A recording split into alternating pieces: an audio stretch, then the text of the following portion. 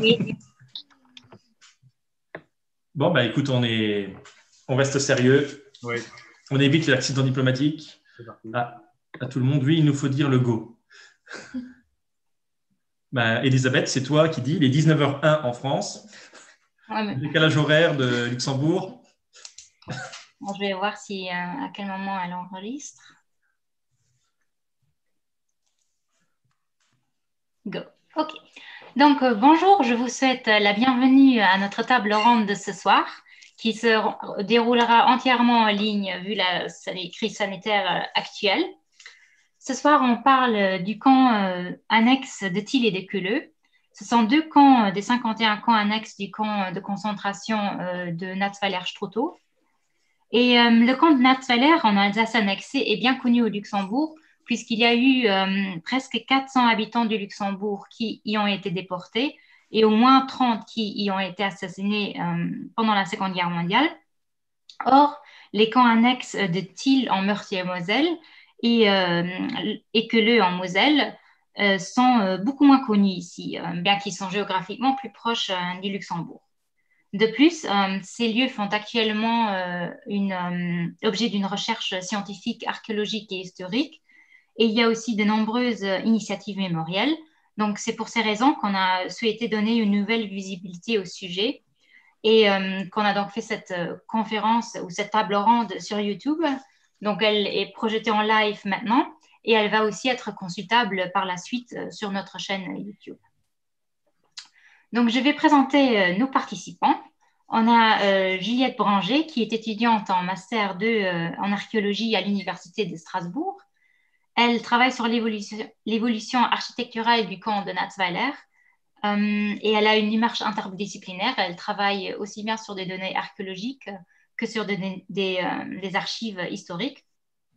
Et dans ce cadre, elle participe aussi à des chantiers de prospection et de fouilles à Natzweiler et à Thiel. Michael Lando est archéologue spécialisé euh, dans l'âge du fer, l'époque contemporaine et l'histoire de l'archéologie. Depuis 2015, il travaille euh, au ministère de la Culture, euh, au service régional de l'archéologie du Grand Est à Metz. Et euh, il travaille plus particulièrement sur le camp de concentration de Natzweiler et les camps annexes, notamment en, coopération avec Juliette Branger. Et à partir de l'année prochaine, il va diriger un programme collectif de recherche interdisciplinaire afin de développer des problématiques archéologiques sur ces camps. Et finalement, euh, il y a Cédric Neveu, historien spécialiste de la répression en Alsace et en Moselle annexée pendant la Seconde Guerre mondiale. Il a notamment publié des ouvrages sur la Gestapo en Moselle, sur la résistance en Moselle et aussi sur les camps d'internement au euh, fort de Mesqueleux. Donc, euh, pour nos spectateurs, vous pouvez poser des questions aux intervenants, soit dans le chat sur les liens à côté de la vidéo YouTube, soit euh, en nous envoyant un message sur Facebook, soit en envoyant un, email à info.mnr.lu. Donc, on va collecter les questions et moi, je vais les euh, lire aux intervenants par la suite. Donc, euh, une première thématique qu'on va aborder, c'est le camp de Natzweiler, puisque c'est le, le, camp principal d'où dépendent les camps de Thiel et de Queuleux. Et donc, euh, je demande à Cédric Neveu de peut-être nous faire un, un, bref résumé historique euh, de ce camp pour expliquer un peu aux gens qui ne connaissent pas trop le camp euh, de quoi on parle. Cédric.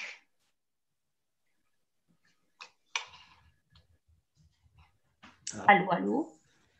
A été coupé. Oh là là, c'est à la campagne.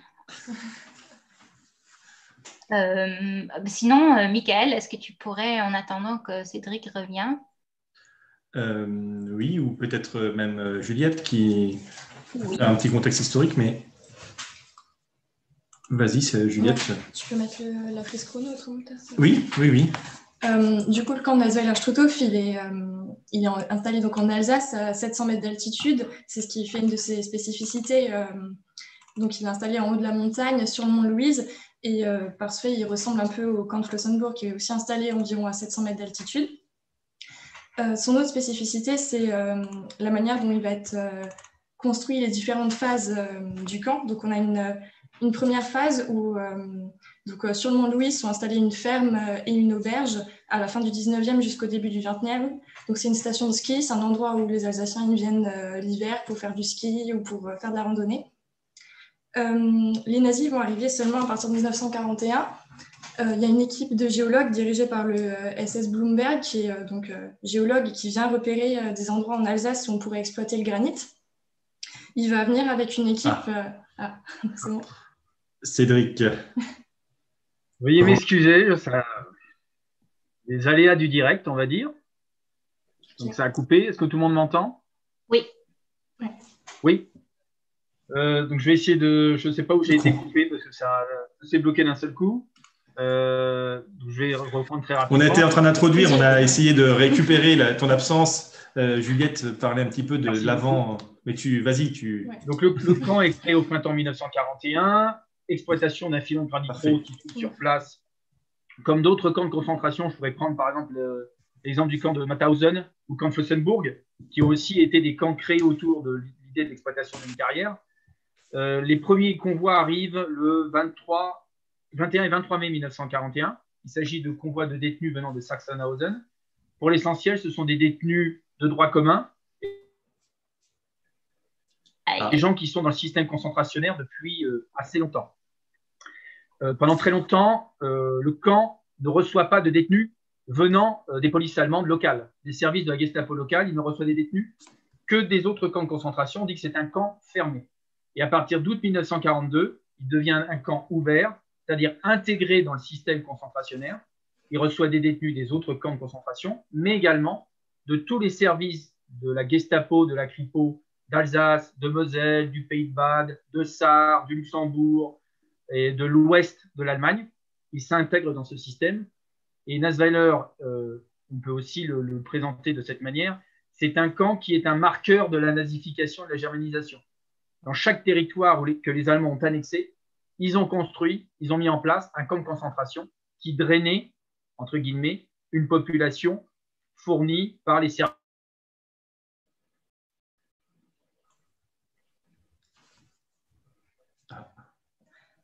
Oui, Cédric Neveu a une mauvaise connexion. Oui, on a... Mais pourtant, il est à Metz. Euh. Mhm. Hmm.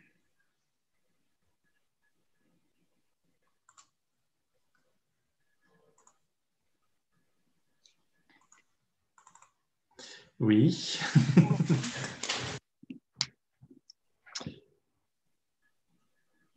Les aléas du direct. Si il, est, il, est, ressorti, peut-être s'il euh, essaye sans, sans caméra, je ne sais pas.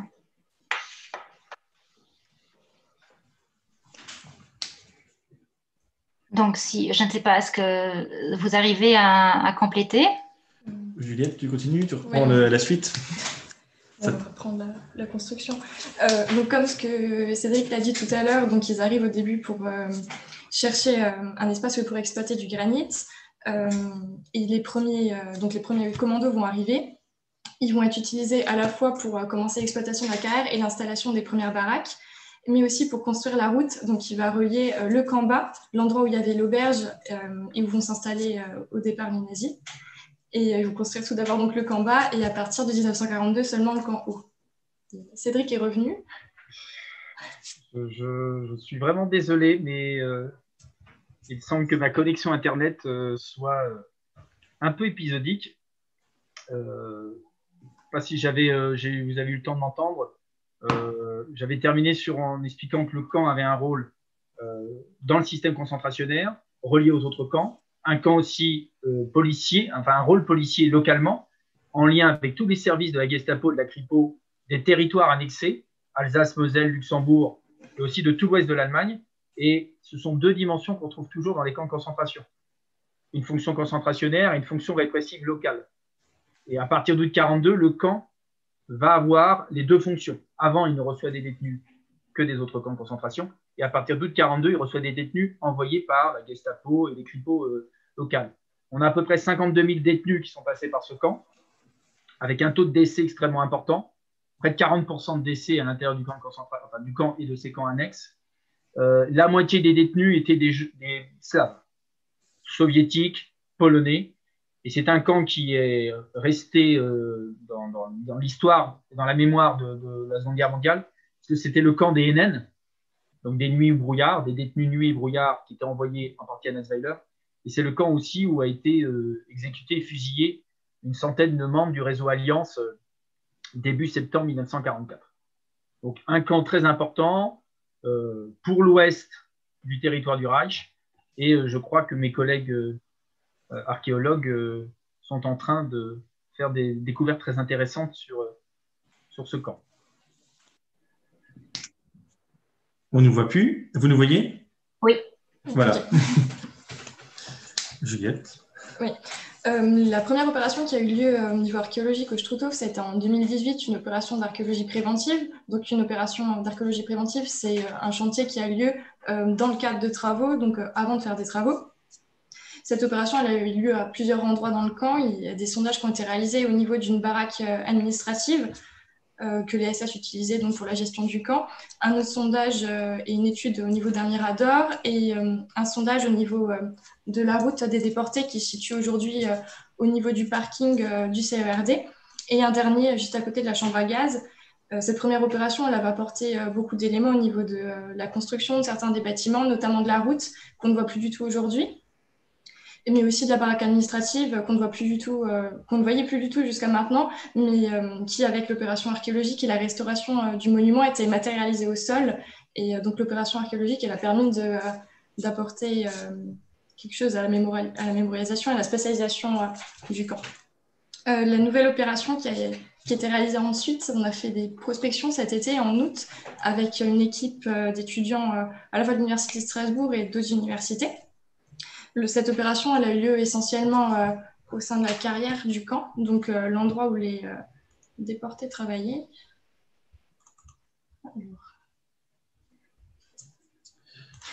Tu choisis ce que tu veux.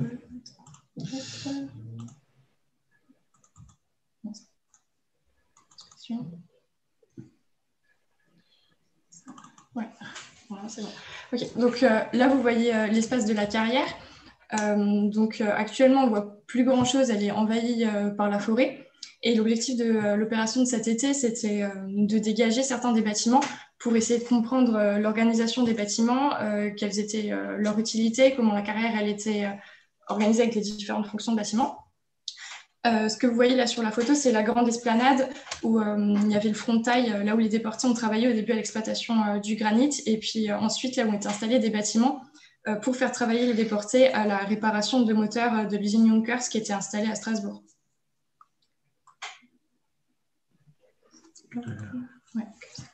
Euh, donc on a dégagé plusieurs bâtiments. Donc vous en voyez un à l'écran qui est une baraque cantine qui servait, on ne sait pas encore exactement à qui, si c'était pour certains des civils qui travaillaient au sein de la carrière, si c'était pour nourrir les déportés ou bien les SS qui les surveillaient. Donc quand on est arrivé, on voyait plus rien du tout et on a fait un travail de débroussaillage, mais aussi un travail de relevé, euh, d'étude du bâtiment, de, son plan et aussi de sa construction.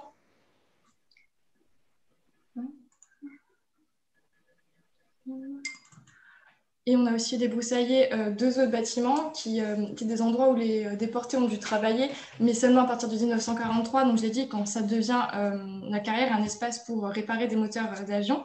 Le bâtiment que vous voyez à l'écran, c'est un bâtiment qui est nommé garage ou dépôt euh, selon les plans et qui euh, fonctionne avec un bâtiment qui est en face qu'on ne voit pas, qui est un bâtiment euh, qui servait de forge, donc sûrement pour réaliser des pièces pour réparer ces moteurs d'avion. À l'intérieur de ce bâtiment de forge, on a pu faire plusieurs. on a déjà on a dessiné l'ensemble du bâtiment pour comprendre son plan et son organisation. Euh, faire des photos pour essayer de, comprendre son organisation. Et ce que vous voyez à l'écran, euh, c'est de la peinture qui a été faite en fait autour des meubles. Et euh, donc à partir des, photos de l'intérieur du bâtiment, on pourrait presque reconstituer l'ensemble de l'ameublement du bâtiment avec les étagères, les bureaux, tout ce qui était installé. Vous en avez une deuxième aussi avec les traces de meubles. Et là, une vue d'une des forges donc, qui était installée à l'intérieur de ce bâtiment avec euh, deux postes de travail euh, les, deux, petits bassins pour refroidir le métal sur les deux côtés. en plus de l'étude des bâtiments, on a aussi réalisé une étude des graffitis euh, euh, on a fait un test méthodologique euh, sur les portes à l'intérieur du bloc bunker, donc du bloc prison qui est à l'intérieur même du camp.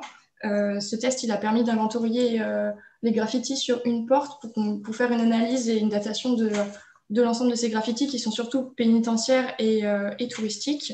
Là, à l'écran, on a un exemple de graffiti. Donc, on a souvent des... ce qui revient le plus, c'est des textes avec des motifs de détention pour euh, la période pénitentiaire. Pour rappel, la période pénitentiaire, c'est euh, on a d'abord une période concentrationnaire au camp du Strudhof, donc la période que l'on connaît le plus. Et à partir de 1945, le camp il va être euh, réutilisé pour enfermer des personnes accusées de collaboration.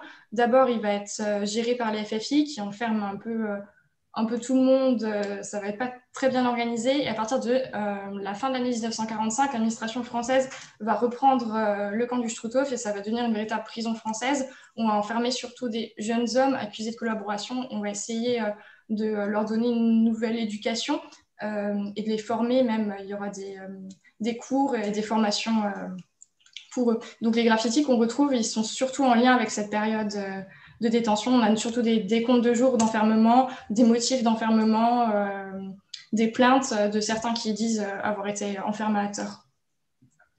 Donc ça a permis de, constater ça, que c'était surtout des graffitis de cette période, parce que ça n'avait pas du tout été étudié euh, pour l'instant. Euh, alors un dernier point, on a également étudié au niveau de la carrière les, trois enfin, les trois galeries, euh, les galeries euh, qui sont juste à la sortie de la carrière et qui ont été utilisées, qui ont été créées à partir de 1943. le but de ces galeries est encore un peu mal connu, donc on les a étudiées, on a été à l'intérieur faire des plans.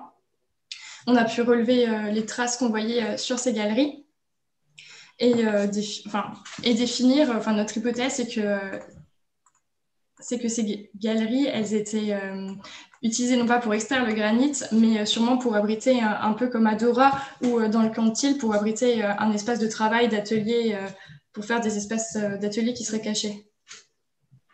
Voilà, à l'écran, donc ce qu'on voit, c'est une trace d'outil pour créer le tunnel. Le dernier aspect de l'étude de cet été, ça a été des prospections. Donc on, ah, on est déconnecté, non? Je sais pas en fait. Vous nous entendez on vous entend, par contre, pas trop les images. Est-ce que vous avez deux écrans? Euh, Non, non, on nous a indiqué qu'on ne voyait pas trop les, images. Oui, mais on sait pas pourquoi. D'accord. On va essayer de. On voit les petites images, mais bon, quand vous cliquez dessus pour agrandir, euh, ça ne, ça ne, ça ne s'affiche pas. Je ne sais pas pourquoi. Ah, d'accord, ok. Mais on, les voit. ok. Bah, du coup, le, juste le dernier point euh, du chantier de cet été, ça a été de faire une prospection tout autour de, de la carrière. Et euh, on a pu euh, localiser plusieurs zones de dépotoir qui ont été utilisées sûrement pendant la période concentrationnaire, mais aussi après. Euh, et on a trouvé donc plusieurs objets qui vont être importants à étudier, notamment des éléments de clôture, des isolateurs électriques, du barbelé qu'on va pouvoir étudier et peut-être répondre à certaines questions, notamment de l'authenticité de certaines zones de barbelé dans le camp du Struthof, qui est un peu sujet à débat encore aujourd'hui. Euh, on a également trouvé euh, certains éléments à l'intérieur des tunnels qu'on a dessinés et euh, ces éléments ils pourraient potentiellement être en lien avec des machines qui avaient été installées à l'intérieur. On verra ça quand on aura fini l'étude du mobilier. Je pense que c'est à peu près tout. Voilà. Ok, c'est parfait. Michael, tu veux ajouter quelque chose?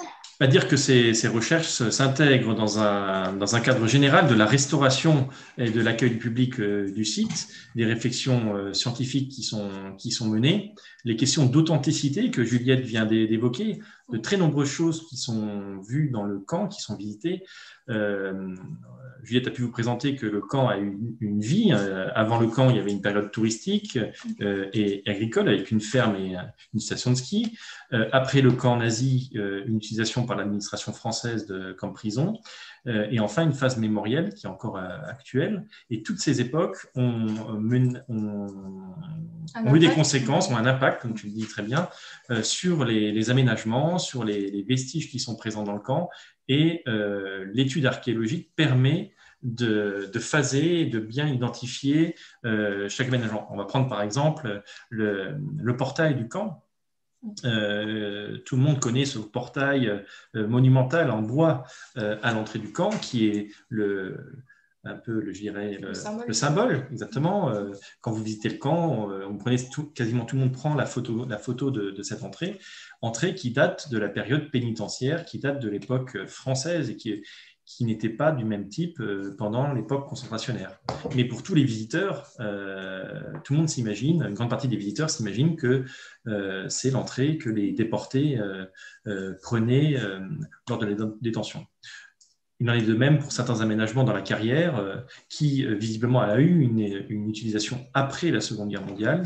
vous avez un portail en béton, par exemple, dans la carrière, et l'étude archéologique sur les différents types de béton, la, composition des bétons, euh, euh, avec l'œil de l'archéologue, permet de, de phaser un peu les différents, bâtiments. On a pu identifier que ce, que ce, portail était postérieur à l'époque concentrationnaire. Alors, ce travail est croisé avec des sources d'archives, parce que quand on travaille sur l'archéologie contemporaine, contrairement à l'époque gauloise où il n'y a pas de texte, ou très peu, euh, on doit prendre en, compte les sources d'archives, les, qui sont, et les sources de photographiques aussi qu'on a pour le, camp du Schrouthof, qui ne sont pas très nombreuses par rapport à d'autres camps. Hein. C'est même pas une centaine de photos de l'époque concentrationnaire, même pas 50. C'est très peu par rapport à Darao, par rapport à, par rapport à par rapport à d'autres camps. Euh, on a pris en compte aussi tout le travail des cartes, des plans, et euh, très prochainement, on va intégrer le travail de la Bauleitung, donc le service de construction du camp, qui a laissé des archives, mais qui ne sont pas complètes. On va pouvoir travailler sur, sur, un petit peu le phasage. Euh, Pour compléter le phasage qu'on a déjà commencé avec les archives photos et le travail archéologique, on va pouvoir compléter avec les archives de la Bauleitung qui, au jour le jour, dit combien de déportés étaient affligés à et enfin, devait faire quel travail de construction. Euh, on a les précisions s'ils faisaient de l'électricité, de la maçonnerie ou autre, et on va pouvoir compléter euh, comment ils ont construit euh, au jour le jour. Et oui, je pense que les mêmes problématiques se posent justement pour les camps de, de et de Queuleux, le, cœur de notre sujet de ce soir. Donc, Cédric, est-ce que tu pourrais peut-être nous expliquer un, peu le, camp de Thiel? Alors, je vais tout d'abord rappeler ce que c'est qu'un camp annexe en allemand ce qu'on appelle un commando. Euh, un, commando, un camp annexe, c'est un, camp qui dépend d'un camp central. Et euh, ce camp euh, reçoit des détenus, souvent envoyés par le camp central, avec une structure de gardien, une administration. Et le but d'un commando est d'affecter des détenus à des travaux spécialisés. Alors ça peut être souvent des travaux de construction. on le verra avec Thiel c'est euh, des travaux de construction d'armement, par exemple, mais ça peut être aussi des travaux euh, euh, de, construction d'autoroutes, de, de, travaux de déminage, etc. Il y a milliers de commandos qui ont été disséminés à travers tout le Troisième Reich et qui étaient, la main-d'œuvre concentrationnaire par ces commandos, était mis à la disposition d'un certain nombre d'entreprises ou de projets industriels pour avoir une main-d'œuvre qu'on pouvait utiliser extrêmement efficacement et extrêmement rapidement, puis sans contrainte, surtout. Alors, le commando de TIL, je vais essayer de faire une synthèse qui est assez compliquée euh, parce qu'on a, euh, on a des, récits différents, on a des informations différentes, euh, les archives ne sont pas toujours extrêmement riches sur ce commando, donc je vais essayer d'en faire une petite synthèse. Et puis peut-être ensuite ça suscitera des questions. Et on pourra évoquer notamment les, questions mémorielles historiques un petit peu plus tard au cours de, de la table ronde. Alors, euh, l'histoire de Thiel, elle commence en fait avec le bombardement du site de Pénémude, 17, 18 août 1943, c'est ce qu'on a appelé l'opération Hydra. Euh, Pénémude, ça se trouve au nord de l'Allemagne, c'est le site dans lequel étaient euh, pensées, fabriquées euh, les futures armes de revanche, les armes de représailles. Et la destruction de ce site va poser énormément de problèmes pour le Reich, qui va mener une réflexion sur comment pouvoir continuer à fabriquer ces armes tout en se protégeant des bombardements alliés. Donc, l'idée, c'est d'enterrer tout simplement les sites, d'enterrer les usines. C'est ce qui va donner naissance au complexe de Dora Mittelbau. Dora, à l'origine, c'est un commando du camp de Buchenwald et avec la réorganisation qui va se produire pour pouvoir enterrer et fabriquer les V1 et les V2 en toute sécurité, Dora va devenir un camp indépendant avec lui-même ses propres commandos. Et Dora est, un camp dans, euh, dans, lequel la mortalité et les conditions de, vie vont être particulièrement euh, effroyables. Alors le site de Thiel, il a euh, été repéré. Il a été repéré en 1942. Il y a Milch, le général Milch, qui est inspecteur général de la Luftwaffe, qui lors d'une visite a repéré ce site, repéré la mine de Tiercelé, qui a une superficie de autour de 200 000 m2, 250 000 m2. Et donc les Allemands sont au courant que ce site existe. Et ils se disent qu'après tout, on pourrait utiliser ce site pour mettre en place une usine de construction de, V1 et de V2. Alors c'est Porsche, le patron de Volkswagen, qui va intervenir auprès de d'Oswald Paul. Alors Oswald Paul, c'est le, patron de l'office euh, économique de la SS. c'est lui qui rentabilise, entre guillemets, euh, les camps de concentration et la main-d'œuvre concentrationnaire.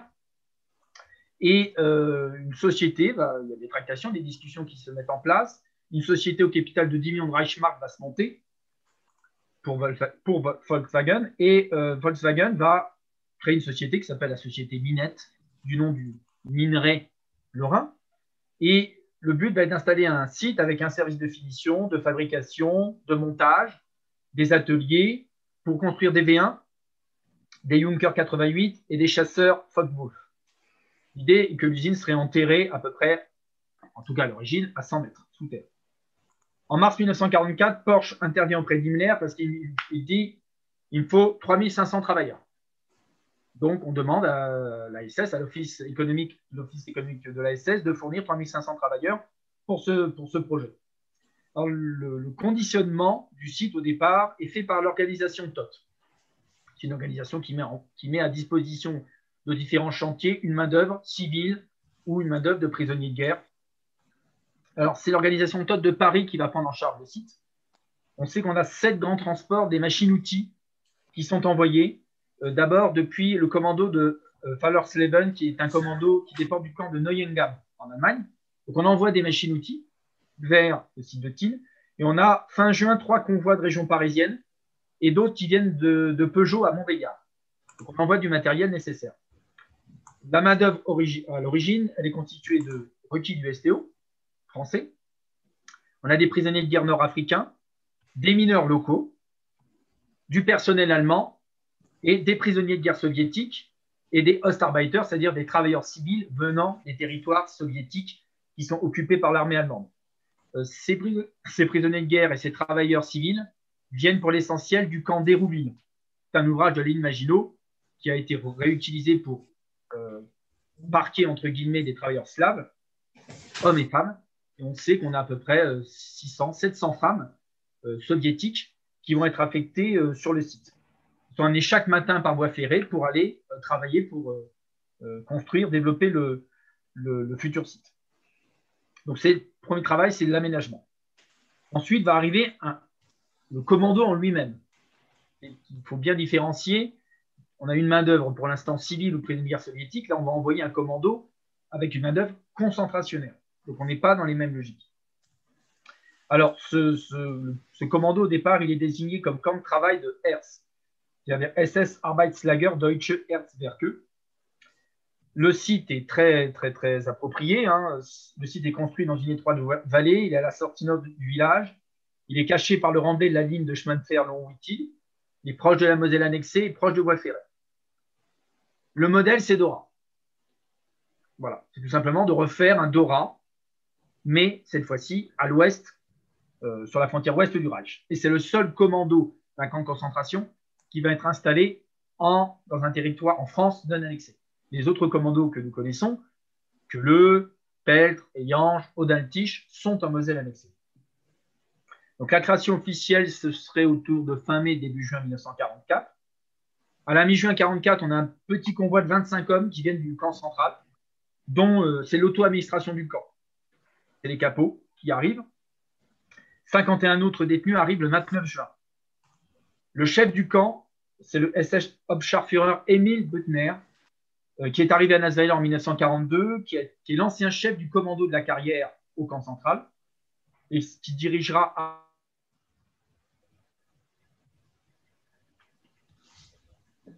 Ah.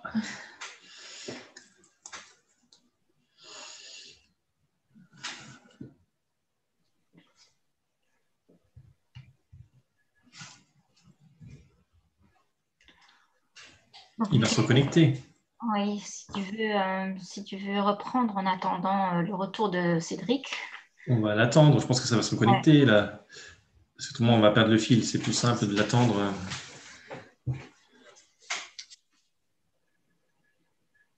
Peut-être euh, en attendant, tu as éventuellement des images de, de Thiel?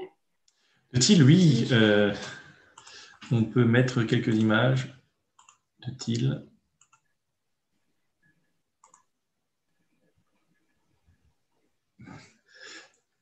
Alors. Tu les ouvres avant. Ah, faut que je les ouvre avant. C'est pour ça que ça ne fonctionnait pas, c'est parce qu'elles n'étaient pas ouvertes. D'accord. On va mettre une photo de Thiel.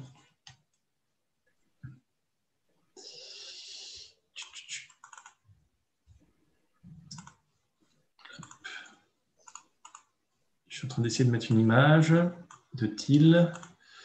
Est-ce que, est que vous avez une image? Ah, alors voilà. Ça a coupé, Je suis désolé des conditions techniques. C'est indépendant de ma volonté, je ne peux pas faire autrement. Donc, je vais essayer de continuer sans être coupé si possible.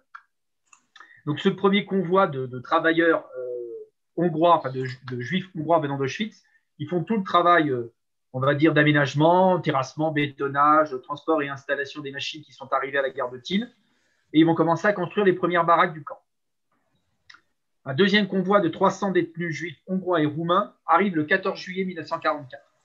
Ils sont partis d'Auschwitz. Ils sont, restés trois semaines à Fallersleben, le commando de où ils ont travaillé à la construction de V1. Et ils vont arriver à Thiel. Ils sont envoyés à Thiel parce qu'ils ont des compétences professionnelles bien précises, toujours en rapport avec les métaux euh, et la mécanique. Donc le commando, ce commando de, de, à Thiel, va être uniquement affecté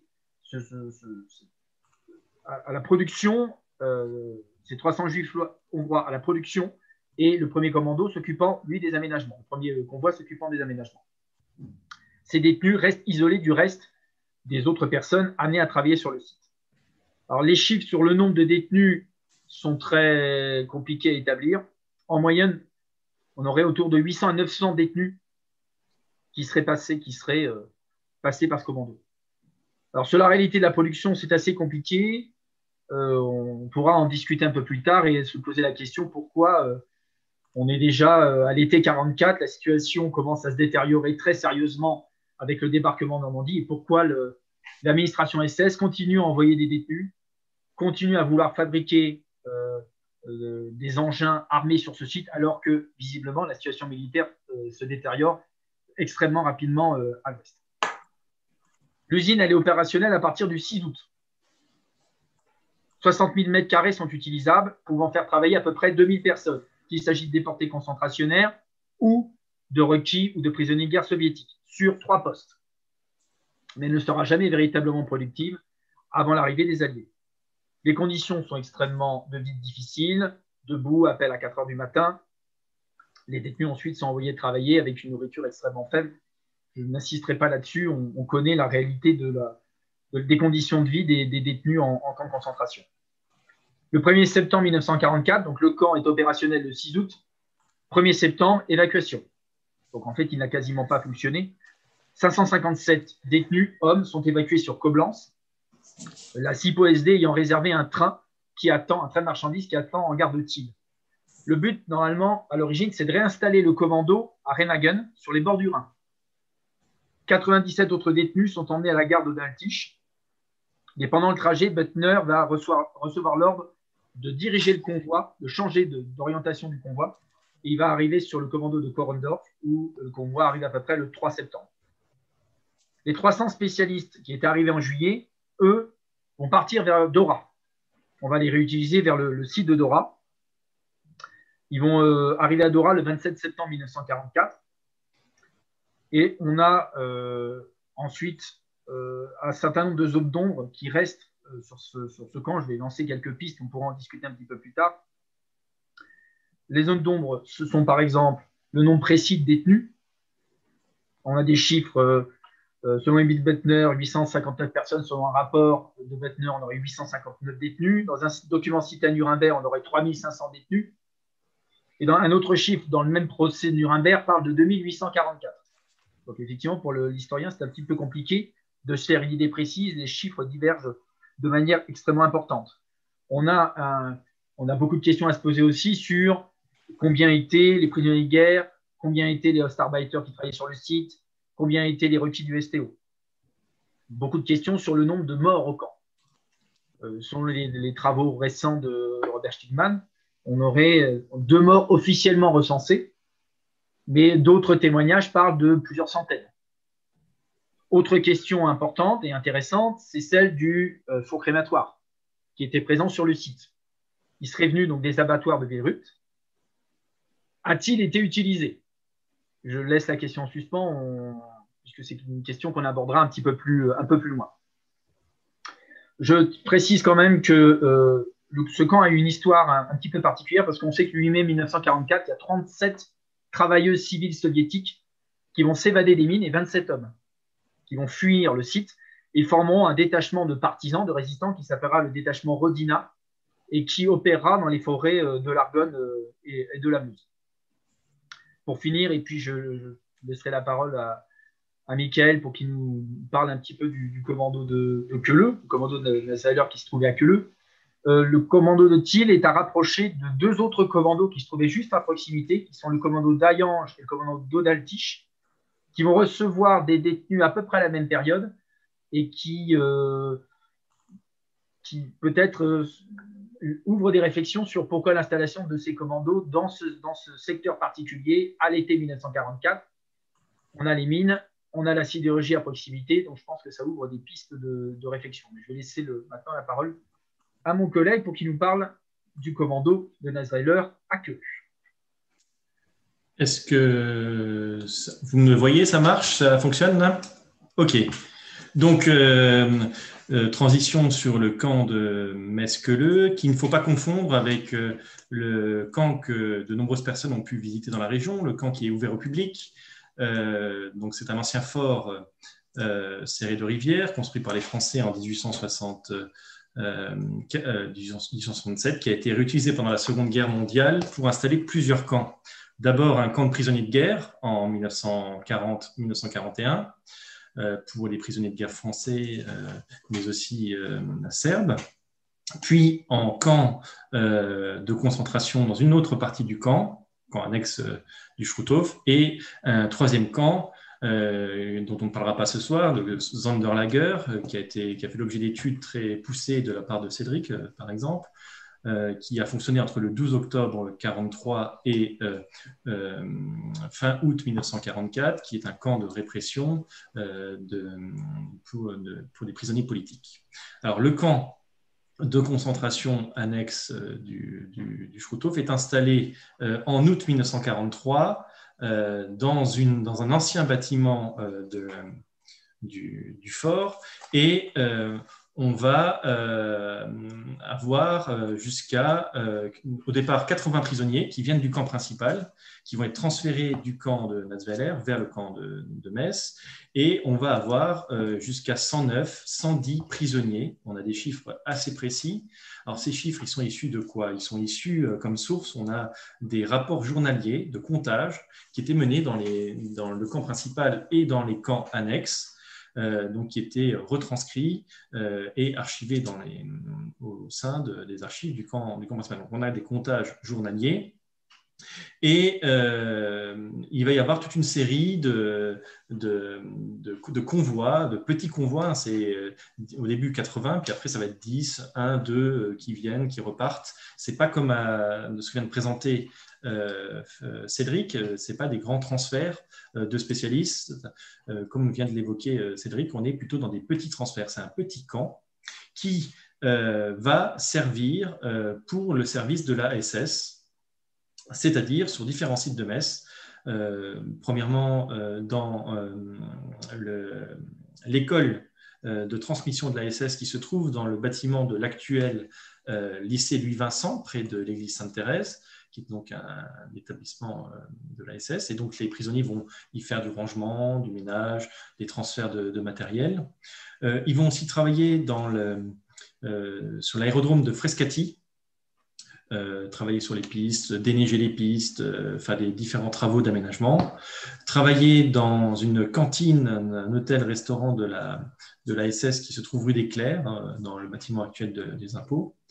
ils vont aussi travailler dans des déblaiements liés au bombardement de la ville de Metz, dans des différents travaux de déblaiement. Travailler aussi dans l'actuel établissement euh, militaire de l'Ouest pour euh, différents, différents travaux. Donc, c'est des, euh, des, travaux assez simples et la mortalité est, très faible puisqu'il va y avoir un seul mort de, de répertorié pendant la durée du camp, mort dont on ne connaît pas, on ne connaît pas les raisons exactes et qui va être euh, transféré au camp, principal pour être euh, euh, brûlé dans le four crématoire. On aura deux autres décès dans ce camp qui vont avoir lieu lors de l'évacuation, donc fin août, début septembre 1944. Le camp est évacué pour être transféré euh, sur Schwindratzheim, donc euh, un camp annexe du nord de l'Alsace, près de Brumath, à l'ouest de, Strasbourg. Et lors de ce transfert, deux prisonniers vont tenter de s'évader et vont être tués à cette occasion. Alors, ces deux prisonniers ne seront pas, les deux corps ne seront pas rapatriés au camp principal, ils vont être enterrés sur place au niveau d'une petite euh, d'un parc euh, situé à Queuleux et ils vont être exhumés après la guerre. Euh, à l'heure actuelle, on ne sait pas où est-ce qu'ils ont été réinhumés. Alors sur les catégories de prisonniers présents dans, ce camp, on, a, on, a, on, arrive à peu près à, à tracer le parcours de 70, 74 de ces prisonniers qui sont essentiellement euh, comme l'a bien rappelé Cédric en introduction, euh, le camp de Nazveler, c'est beaucoup de soviétiques. Et effectivement, euh, au camp de, de on a 24 soviétiques qui sont identifiés, 17 polonais, 33 allemands parmi les nationalités connues. sur les motifs de déportation, on a principalement des détenus politiques, à peu près euh, un peu plus d'un quart de prisonniers politiques, euh, soviétiques, polonais, donc les fameux triangles rouges. On va aussi avoir un quart de prisonniers de droit commun, le droit commun allemand essentiellement, même uniquement, le droit commun allemand. Donc personnes qui avaient été condamnées pour des, des infractions et des délits de, de droit commun, qui peuvent être par exemple du vol, euh, on va aussi avoir euh, deux déportés euh, asociaux et enfin deux déportés homosexuels allemands qui vont se trouver dans le, camp. les nationalités, nous avons vu, les,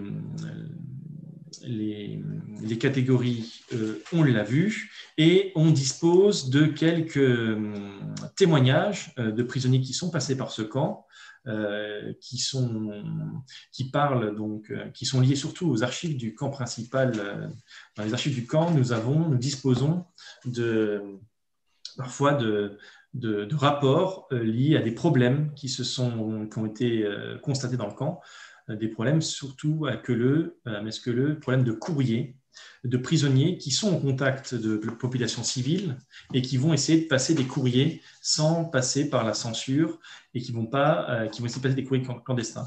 Et euh, à cette occasion, on a des rapports qui parlent de ces, de ces courriers clandestins et on a euh, quelques éléments sur la vie quotidienne de, ces prisonniers qui dormaient dans des cellules de la caserne du camp de, de Queuleux, plusieurs chambres qui avaient été aménagées euh, en, cellules collectives euh, et qui bénéficiaient d'une cuisine qui avait été aménagée par les premiers prisonniers qui étaient arrivés dans ce camp.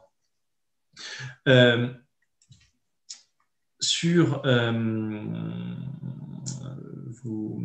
je réfléchis un petit peu sur les questions historiques. Voilà, on, a autre source qui a été utilisée pour travailler sur, sur les, personnes qui sont présentes dans ce cas. Alors, parce que on dispose pas, on dispose de quelques sources. On n'a pas de liste euh, complète euh, de prisonniers à telle date présents euh, au camp annexe de, de on a pu restituer les listes de personnes présentes par plusieurs sources historiques. La première, des inventaires de, courriers, c'est-à-dire que on a l'archive de tous les courriers qui ont transité, des courriers, des paquets, des paquets qui ont transité euh, par le camp, que les prisonniers pouvaient recevoir. Et dans les archives de ces paquets, on arrive à identifier certains prisonniers qui étaient à Queuleux. Autre source qui a été utilisée, euh, les, euh, les, inventaires d'argent. Les prisonniers disposaient d'argent et il y avait donc des inventaires sur tel prisonnier possédait telle somme d'argent. Donc on a quelques inventaires pour euh, le camp de Queuleux, qui nous permettent d'identifier certains individus. Euh, les témoignages aussi, à partir de quelques des témoignages, et tout le travail de Robert Stegman, qui a aussi permis de retracer ces 52 000 euh, parcours de prisonniers. Voilà un petit peu pour euh, vous situer ce, contexte historique de, ce camp annexe de Queuleux, qui est très mal connu. Hein. Euh, on parle toujours du camp du on parle très peu de ce camp annexe. Vous dire que ces deux camps n'ont pas de lien. Hein. il n'y a pas de prisonnier du camp spécial qui va vers le camp euh, de concentration. il n'y a pas de transfert en direct. Hein. c'est deux administrations différentes. Euh, et euh, tous les prisonniers qui sont euh, venus à Mesqueleux sont passés par le camp principal ce qui n'est pas forcément le, cas des autres camps. Vous pouvez avoir des transferts où les prisonniers ne vont jamais passer par le camp principal. Ce n'est pas le cas à Queuleux. Alors, est-ce qu'il y a eu des critères de sélection, euh, comme euh, l'a évoqué euh, Cédric Pourtil, ou c'est des spécialistes On a des serruriers, des, forgerons, des, personnes qui sont utiles pour le travail dans l'usine d'armement située dans, le tunnel de Thiel. à Queuleux, ce n'est pas le cas. les travaux ne sont pas spécialisés il n'y a pas vraiment de, sélection particulière de, profil sur les prisonniers qui y sont euh, acheminés. Alors par contre, ils étaient en tenue rayée, ça on, sait, euh, on le sait, euh, que, comme ils travaillaient au milieu de la population civile, pour les identifier, ils étaient en tenue rayée. on a les inventaires des transferts de, vêtements rayés qui sont effectués, on a quelques sources sur ces éléments-là. Alors après la guerre, oui, peut-être euh, un détail, c'est qu'après la guerre, il y a eu toute une polémique sur la présence d'un four crématoire euh, au camp de, dans le fort de Queuleux, hein, qui en fait était un four euh, à pain et qui a fait l'objet d'une enquête après la guerre, parce qu'avec la découverte des camps de concentration, les gens ont un petit peu regardé un petit peu ce qu'ils avaient autour d'eux, les vestiges, et ce four à pain a entraîné des polémiques et il s'avère que ce, ce four à pain n'a jamais servi de four crématoire, euh, bien entendu. Ok, donc euh, on peut constater que, les camps de Thiel et de Collet sont quand même très différents. Moi, je voulais savoir, est-ce qu'il y a eu des transferts de prisonniers euh, entre les deux camps ou est-ce que c'est connu Est-ce qu'on sait quelque chose? Entre Thiel et Queuleux, tu veux dire? Oui. On n'a pas de. Dans les recherches qu'on a fait pour, pour Queuleux, on n'a que des prisonniers qui viennent du camp principal qui vont à Queuleux et qui repartent au camp principal.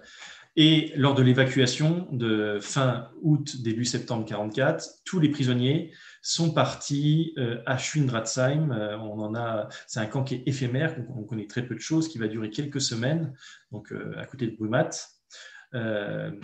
et d'ailleurs, camp où il y aura de très nombreuses évasions. Dans les registres d'évasion du camp, on note qu'il y a plusieurs prisonniers du camp qui étaient à Queuleux qui arrivent à s'échapper de ce camp de Fundratsheim, qui était dans une ancienne usine de mémoire. Je crois que c'était un, bâtiment industriel qui avait été réutilisé euh, en, pour, euh, pour mettre les prisonniers. Ok. et on ne sait pas s'il y a eu des, des, luxembourgeois ou des habitants du Luxembourg dans les deux commandos. Est-ce qu'il y, a des informations là-dessus ou pas? Pour le camp de Queule, à l'heure actuelle, on ne connaît pas de luxembourgeois qui a été interné dans l'annexe de Queuleux. Pour ce qui est de Thiel, bah, la question, je ne sais pas, Cédric, tu viens de nous rejoindre.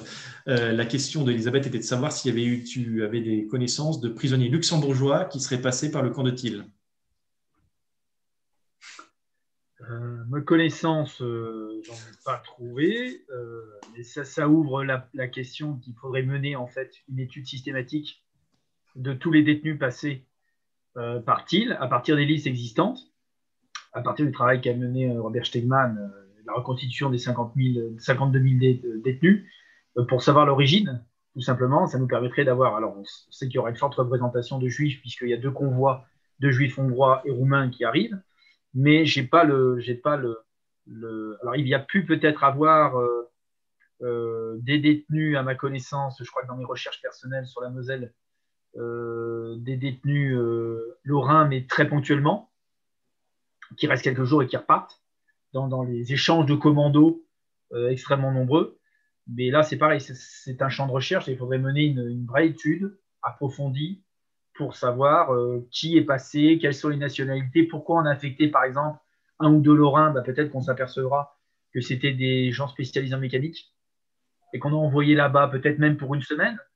Euh, ça arrive assez souvent. On voit par exemple beaucoup de transferts de Mosellans ou d'Alsaciens à, à Sainte-Marie-aux-Mines au commando de Sainte-Marie-aux-Mines pour peu de temps, parce qu'ils ont peut-être une tâche à accomplir en particulier, qu'on renvoie en camp central et qui vont ensuite partir vers les camps euh, du Nécart, par exemple. Donc euh, là, c'est une, perspective de recherche. Euh, je n'ai pas d'éléments plus précis là-dessus. Là, le champ est ouvert. Ok, merci beaucoup. donc, on a vu un peu maintenant l'histoire du camp de Thiel et de Queuleux. Euh, Michael, si je suis bien renseignée, il y a quand même eu euh, récemment des, euh, recherches archéologiques, notamment à Ti. Est-ce que tu pourrais peut-être nous expliquer un peu sur, ces, recherches s'il y a eu des, découvertes, s'il y a eu des, évolutions dans, la compréhension de ce camp? Alors voilà, donc dans le cadre de ce programme de recherche collective que nous sommes en train de monter pour l'année prochaine, euh, qui va se consacrer au camp principal, mais aussi aux annexes situées côté français. Euh, on va euh, travailler sur ce camp de Thiel parce qu'on a de très nombreuses questions. La première question, c'est quel était son plan? Alors, je vais essayer de vous montrer une image. On va essayer de voir un écran partagé en espérant que ça fonctionne. Jusqu'à présent, les indicateurs nous disent ça marche pas très bien. Alors, je mets une image. Euh, où est-elle? Partager. Pourquoi ça ne va pas? Ah oui, c'est ça. Et maintenant, est-ce que vous avez une image? Avez-vous une image On voit les petites. Euh, est-ce que ça, c'est tout petit ou ça peut grandir? Non, c'est tout petit. C'est tout petit?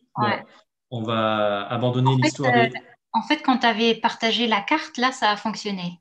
La carte, ça a fonctionné. Ouais, et, là, et là, je zoome, ça.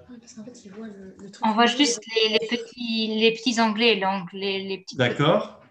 Alors, je réessaye une autre technique. Et alors, est-ce que vous voyez Je ferme là, je réessaye une autre technique. Alors, c'est ici qu'il faut. Et qu'est-ce qu'on voit Vous voyez quelque chose ou pas? Euh, de nouveau, euh, les, petites, euh, les petites photos. Et pas en grand, là? Non. Bon, c'est dommage. Et là, maintenant, ça donne quelque chose ou pas? Non, toujours les petites photos. D'accord. Je suis pas trop bon. Écoutez, c'est pas très grave, on va l'expliquer de manière orale, il n'y a, pas de problème. Alors, le souci numéro un, c'est que connaît-on du plan, je remets mon image. Que connaît-on du plan de l'organisation de ce camp? Ce camp qui est situé dans une, actuellement dans à l'écart de la ville. Euh, on en connaît euh, plusieurs choses à partir d'une maquette actuellement qui est présente dans, une crypte euh, mémorielle qui est présente à l'emplacement du site. Et cette maquette est issue, quelle est la source de création de cette maquette? C'est issu de photographies que personne n'a vraiment vues, hein, qu'on on pense exister, et qui auraient servi, photos qui ont été prises après la guerre, et, ou, à l'évacuation du camp, et qui auraient servi à un artiste récemment décédé de réaliser donc une, œuvre d'art, un tableau, et tableau qui a servi à réaliser cette maquette. Et maquette, quand on travaille un petit peu sur euh, l'histoire de cette maquette, sur la documentation dont on possède, on se rend compte que les photos de cette maquette qui a 30 ans euh, on montrent qu'il y a des différences entre la maquette euh, qui est actuelle et la maquette qui a 30 ans. Il y a eu une restauration, il y a eu des modifications de cette maquette. Donc la, fiabilité de cette maquette pose question d'un point de vue historique. Deuxième élément, on a lors des procès euh, postérieurs à la Seconde Guerre mondiale, euh, des témoignages, des plans issus de témoignages. Le commandant Butner, euh, qui a présenté Cédric, qui commandait ce camp annexe, a réalisé un plan schématique de, ce camp. Et un ancien prisonnier a réalisé aussi un plan schématique. Et ces deux plans ne concordent pas du tout l'un et l'autre. Absolument rien à voir, ces les deux plans alors qu'ils ont, c'est des témoignages qui ont quelques années, euh, qui sont de quelques années postérieures à la guerre. Autre euh, élément, euh, on possède une photo aérienne alliée qui a été faite en 1944 et qui permet d'avoir un état assez fiable de ce, qui était présent. Donc, en fait, on est face à un camp qui a une enceinte avec des miradors, une enceinte de, barbelés, et à l'intérieur toute une série de baraques situés sur des terrasses qui ont été aménagées euh, par les, prisonniers. Donc, une série de plusieurs baraques, euh, des bâtiments administratifs, des bâtiments euh, sanitaires. Et à l'extérieur de cette enceinte, dans une zone plutôt boisée, se situait le four crématoire, qui a évoqué Cédric tout à l'heure, qui est unique dans l'histoire du système concentrationnaire, puisque ce n'est pas un four crématoire euh, pour les humains, mais pour les animaux, pour les carcasses d'animaux euh, issus de l'abattoir de Villeru, qui a été euh, déplacé et réutilisé. Alors après, est-ce qu'il a fonctionné? On se pose, Cédric a posé les questions. À l'heure actuelle, on a peu d'éléments pour dire qu'il a été utilisé, puisqu'on a un témoignage qui parle d'un décès qui aurait été brûlé, un prisonnier décédé qui aurait été brûlé sur une sorte de grille euh, dans le camp et pas euh, dans le four crématoire, four crématoire qui a été installé à la fin de la, la durée de vie d'existence de ce camp de Thiel et qui n'a été fonctionnel que euh, vers fin août, début septembre, quelques jours avant l'évacuation du camp de Thiel. Alors ce four crématoire était-il dans un bâtiment Les quelques photos dont on possède euh, d'après-guerre montre qu'il était dans une sorte de petit euh, ravin. Euh, et les prospections archéologiques montrent, ont permis de, retrouver l'emplacement des, fixations de la cheminée, la, fixation, la cheminée qui, est très, qui était très haute et qui était fixée par des tirants métalliques euh, fichés par des, fixés avec des, rails qui étaient plantés dans, le sol.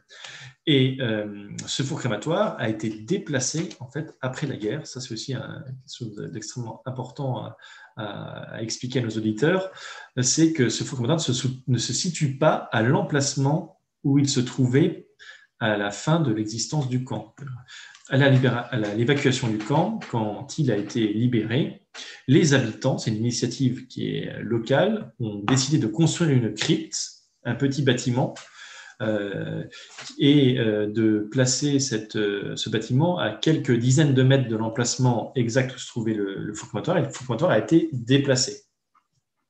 Et dans cette crypte se trouve une sorte d'hôtel. On a une architecture qui reprend un petit peu une chapelle chrétienne. On a une sorte de bah, d'ossuaires, ou plutôt de, de reliquaires en verre, où sont conservés des, des restes humains, des restes, pardon, des restes osseux, euh, peut-être en partie euh, carbonisés, qui auraient été trouvés, je dis bien auraient, parce qu'on n'a aucun document historique qui le prouve à l'heure actuelle. Hein.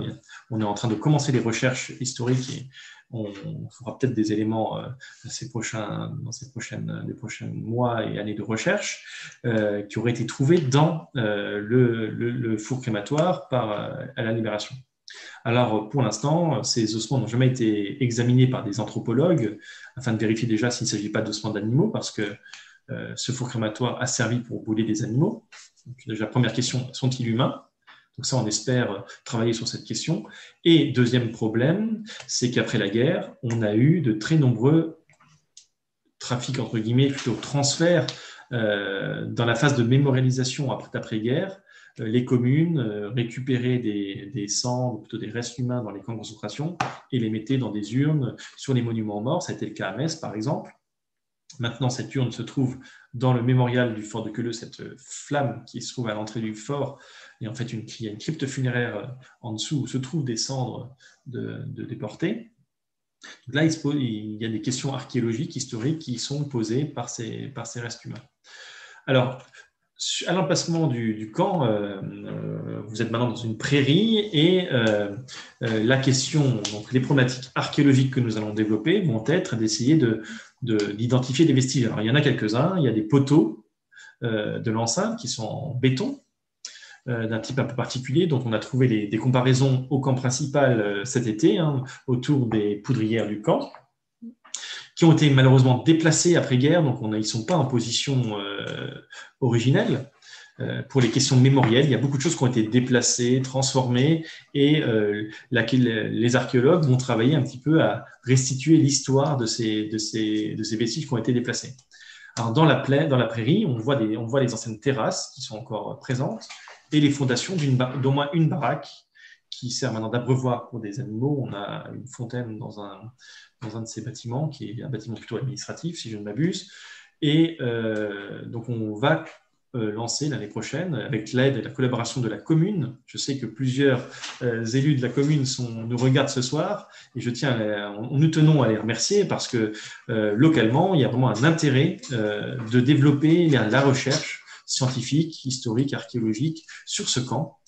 Et euh, donc, nous allons travailler peut-être à réaliser une prospection géophysique, c'est-à-dire euh, avec un. Euh, oh, c'est du radar, je crois qu'on a plutôt radar ou magnétique, magnétique, pardon, magnétique, donc avec un, un appareil magnétique passer à l'emplacement de cet ancien camp et essayer de voir s'il y a des vestiges qui sont encore conservés euh, en sous-sol, des restes de poteaux, des restes de murs, des restes de, de murets en briques, des restes de fondations. Donc on va essayer de programmer cette, euh, une recherche euh, non intrusive, donc sans fouiller. C'est un peu comme faire une radio du sol, en fait, pour voir ce qu'il y a sous l'herbe, sous les premières couches, pour voir s'il y a des restes de bâtiments, des fosses dépotoirs, des choses comme ça. Ça fonctionne un peu comme une radio, en fait, pour simplifier. Et pourquoi pas, suite aux résultats, dans les années à venir, réaliser des sondages pour essayer de, de retrouver des vestiges de ce camp euh, quand on va sur le site actuellement, on a un chemin mémoriel qui a été mis en place avec des sculptures d'artistes. On a cette crypte euh, avec le four crématoire, qui avec un petit musée qui mérite euh, d'être travaillé. Un travail d'explication de, sur ce qui se trouve à l'intérieur. Il y a des choses qui viennent d'autres camps, donc il, faut retravailler un petit peu sur les, les contextes. Et le visiteur, le pèlerin, le,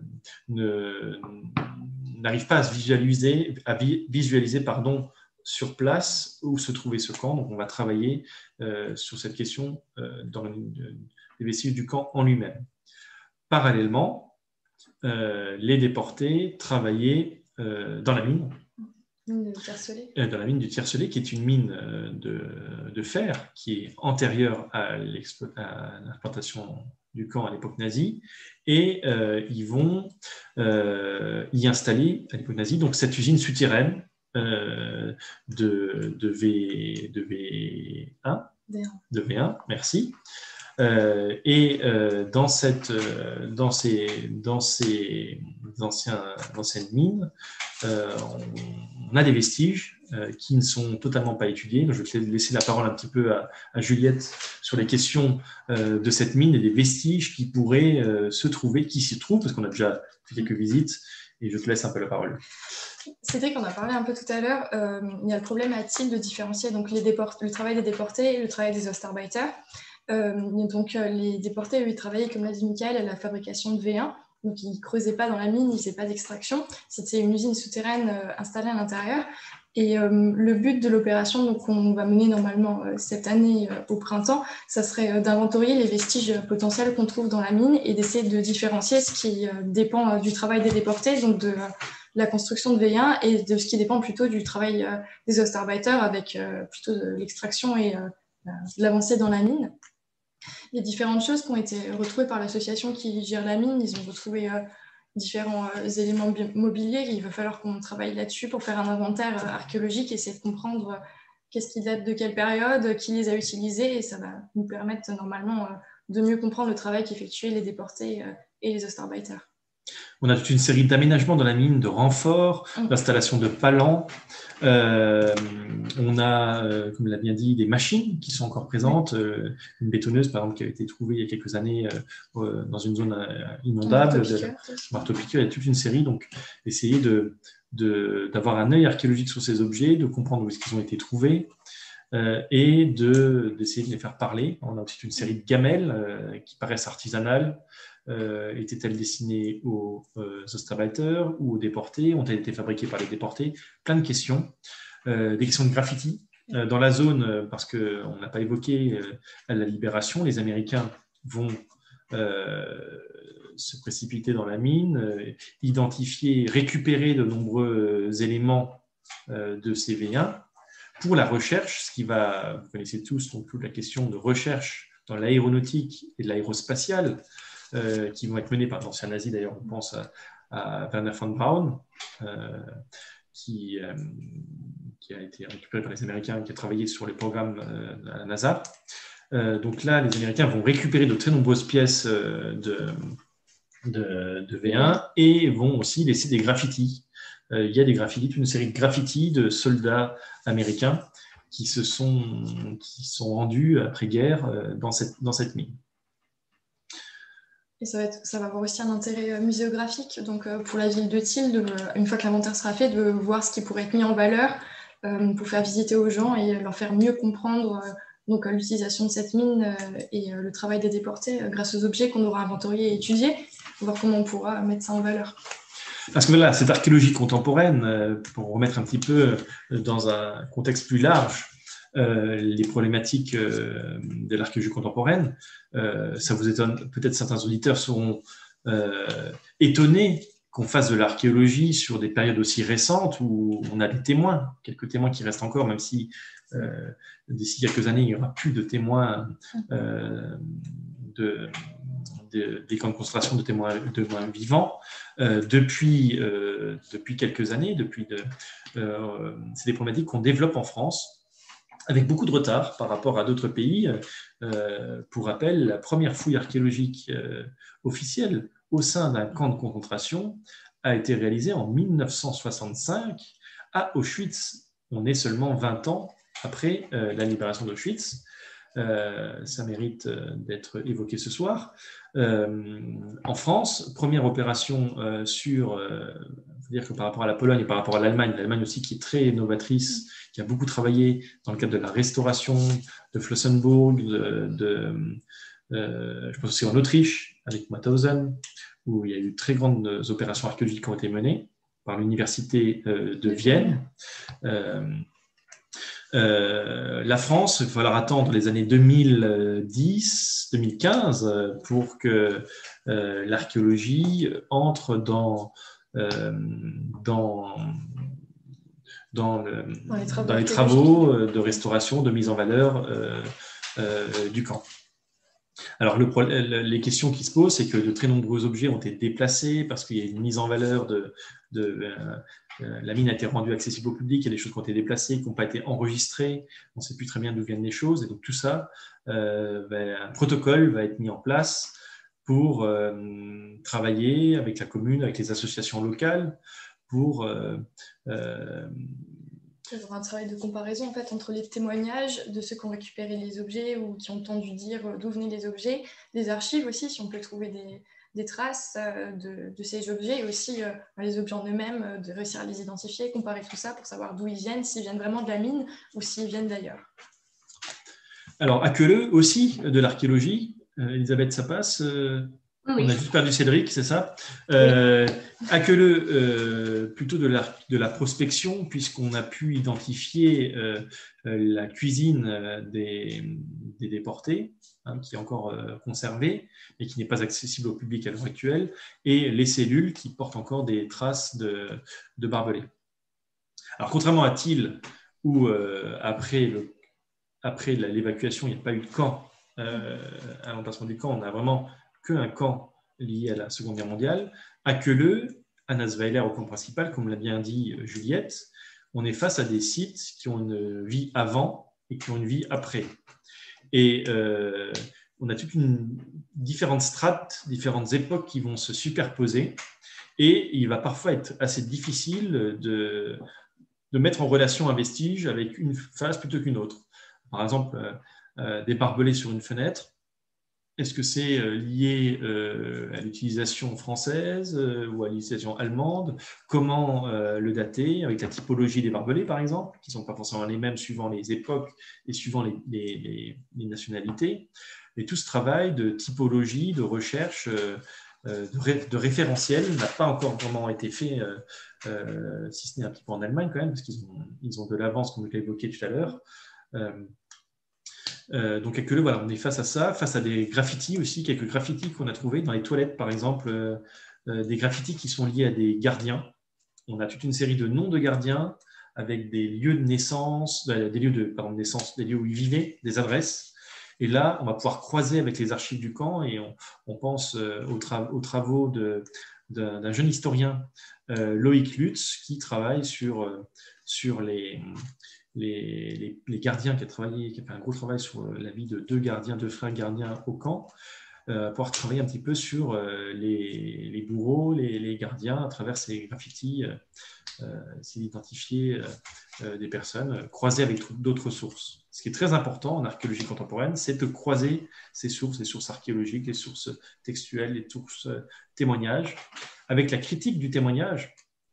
Et là, je ferai référence aux travaux euh, que tout historien contemporain doit avoir lu dans sa vie, euh, les travaux de, Marc Bloch, voilà, donc qui a travaillé sur la question du témoignage, euh, surtout lié à son expérience de la Première Guerre mondiale, où Marc Bloch était dans les tranchées. Et il a fait un gros travail sur les rumeurs qui étaient lancées dans les camps, dans les camps, dans les tranchées, pardon. Excusez-moi pour cette, cette aversion. Euh, il a travaillé sur les questions de, de témoignage et sur la valeur euh, de ces rumeurs, sur, ces questions-là et sur, la déformation aussi euh, avec le temps. Toutes ces questions aussi qui, sont qui ont été travaillées par tous les gens qui travaillent sur, la, sur tout ce qui est enquête de police. Il y a eu des, travaux qui sont, qui sont menés dès le 19e siècle par les, par les Allemands, des travaux et des Autrichiens qui, font, qui mènent des, recherches assez poussées sur ces questions. Donc, tout la critique du témoignage, la remise en contexte du témoignage, à quel moment le témoignage a été fait? Est-ce que c'est deux ans après les faits ou 50 ans, 80 ans après les faits? Euh, Est-ce qu'il a pu être transformé avec d'autres sources? Toutes ces questions. D'où l'intérêt de travailler en collaboration dans des, euh, euh, comme l'a introduit tout à l'heure Elisabeth Hoffman, la pluridisciplinarité, j'ai réussi à le dire, donc des archéologues, des historiens, euh, des sociologues, euh, des spécialistes de l'anthropologie, comme on vous a présenté tout à l'heure pour euh, les travaux sur les, les, restes humains. Donc, une, de, nombreuses pistes, hein, des problématiques qui sont les aménagements du camp hein, et leur évolution suivant les différentes phases. Tout le travail de Juliette de son master euh, sur, le camp principal, qui peut être mené sur d'autres camps maintenant. Euh, le travail euh, sur les prisonniers en eux-mêmes, la vie quotidienne de ces prisonniers. en Allemagne, il y a eu des travaux sur l'artisanat, que ces prisonniers vont, les prisonniers vont réaliser des choses, vont fabriquer des objets, vont se débrouiller avec les moyens du bord pour fabriquer, pour améliorer leur quotidien. Donc ça, c'est des choses, on va avoir des traces archéologiques de tout ça. On va avoir des éléments sur l'hygiène, sur la santé des prisonniers, euh, les graffitis aussi. Euh. Les graffitis pour connaître le moral, euh, la, pensée des prisonniers, avec toute la question de, sur la datation des graffitis. Alors ça, c'est mm. complexe. Mais il y a eu d'autres travaux sur les graffitis récemment en France, notamment dans le camp de transit de Drancy, où ils ont démonté une partie des murs qui, qui comportait de nombreux graffitis. Et il y a eu un grand travail d'études sur ces, sur ces graffitis qui constituent un peu une base de référence qu'on pourra comparer avec nous, nos travaux à Thiel et à Quelu. Elisabeth Donc, euh, une, première piste que, je vois ici euh, dans la description de vos projets, c'est que la recherche archéologique, elle met aussi euh, ou remet en question des, discours un peu qui se sont formés aussi sur ces lieux. Est-ce que vous avez eu des échos quant à vos recherches personnelles? Est-ce qu'il y a eu des échos positifs, des échos négatifs? Ou est-ce que vous pourriez peut-être nous dire un peu s'il y a eu des échos? Pour l'instant, euh, c'est des choses qui sont très récentes. Euh, les premiers sondages, Juliette, c'est en 2018, les premiers sondages archéologiques.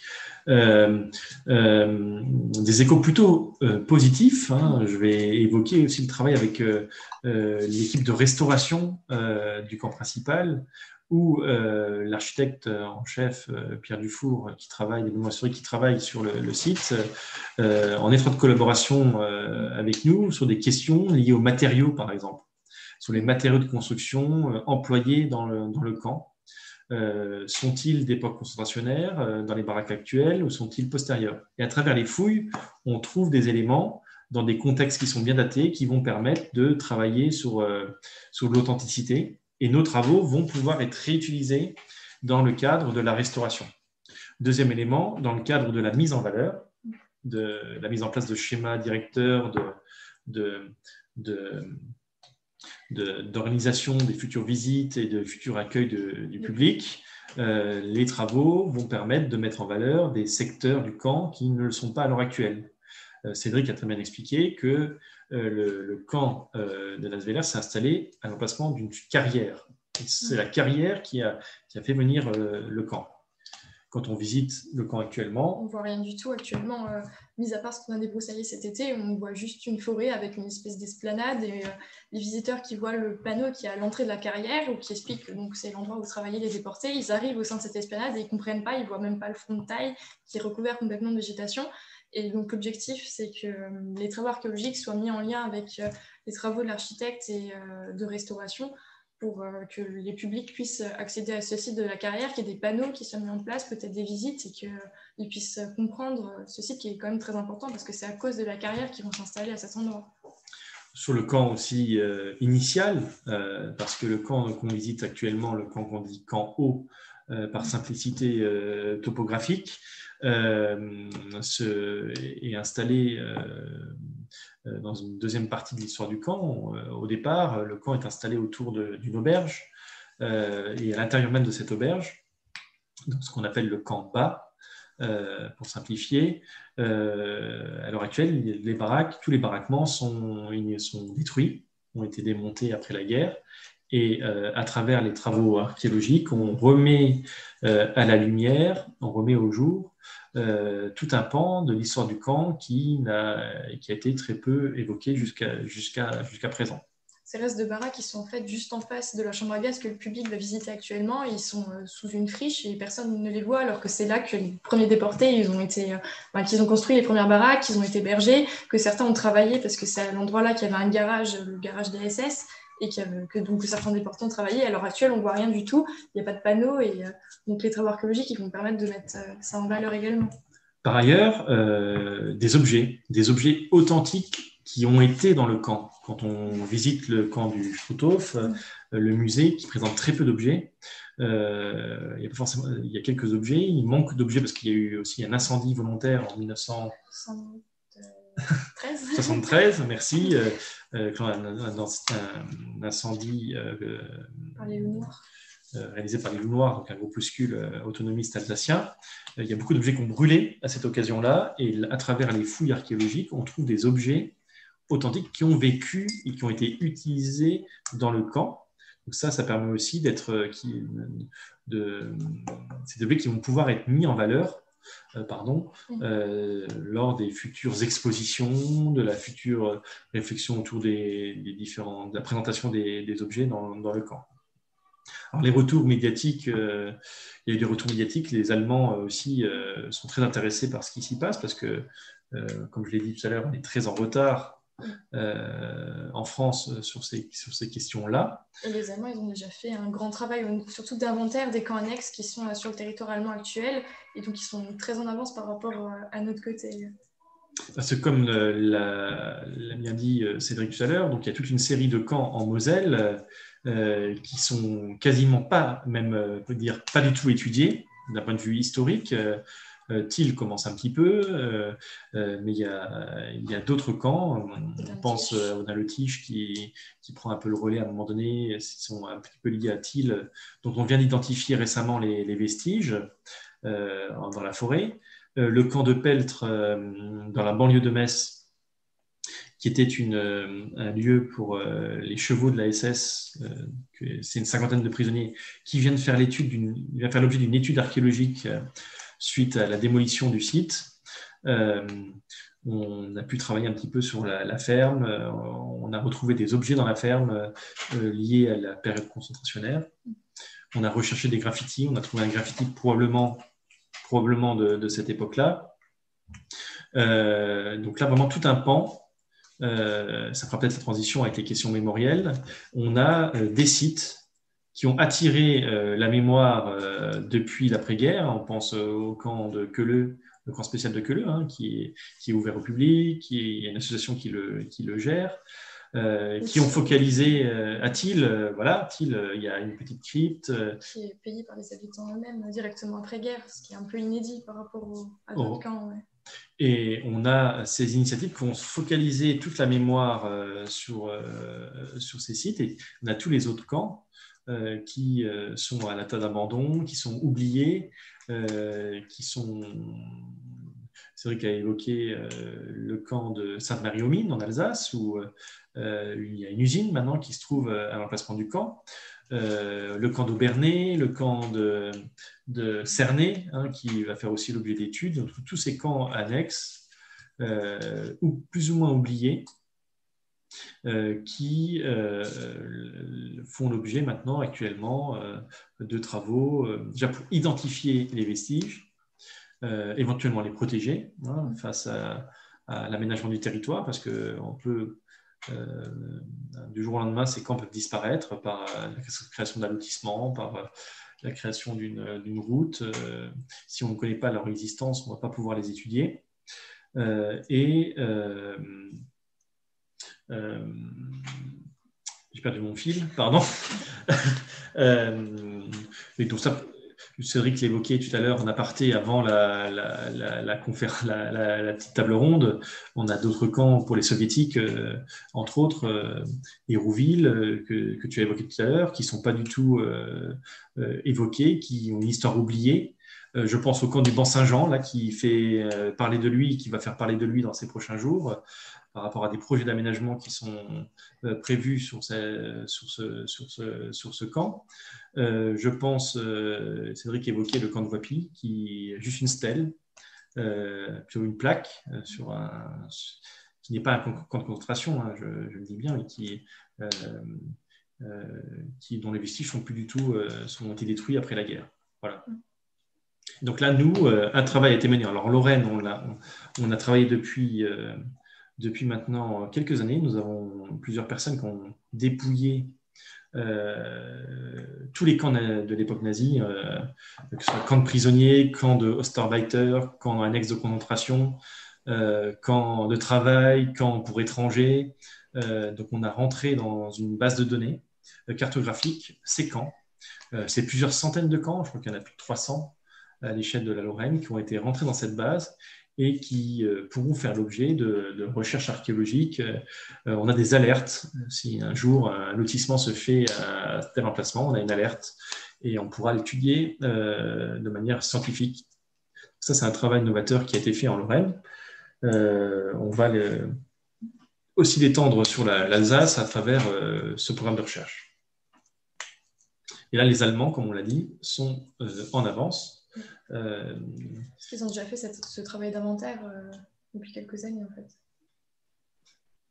Il faut dire aussi qu'il y a il y en a beaucoup plus, hein, c'est plus d'une une centaine en Allemagne, euh, quand un ex, je crois que c'est à peu près une centaine ou 80, je crois, quand un ex euh, qui sont côté allemand, côté français, entre guillemets, euh, actuel, il y en a, c'est une vingtaine.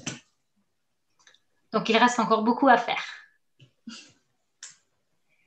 Ah ben, écoutez, on pourrait peut-être demander aux spectateurs si jamais ils ont des questions de nous les ah, envoyer. Cédric nous a rejoint, tu as perdu une bonne partie. De suis battu avec la technique, j'ai triomphé.